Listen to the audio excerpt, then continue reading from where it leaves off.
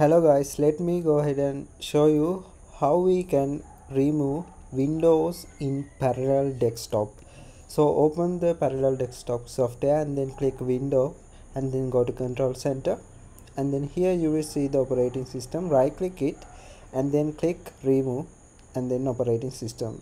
In this case so I will go ahead and uh, click move to uh, keep the files to able to use virtual machine in the future. If you move the files to trash the virtual machine will be deleted. So i will also delete the files because all required files are in the backup.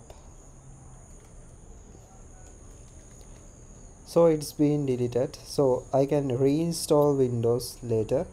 So if i check the storage now currently I have only 230 uh, gigabytes uh, gone. So what I will do just to open the uh, trash and then delete it. So if I check my storage now you can see it is dramatically reducing because the trash is empty.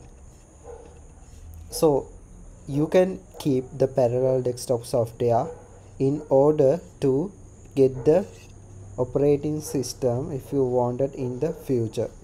So currently you can see it is deleting all the files and the size is dramatically reduced. Okay i hope this video helps. If this video helps please subscribe to my youtube channel. Thank you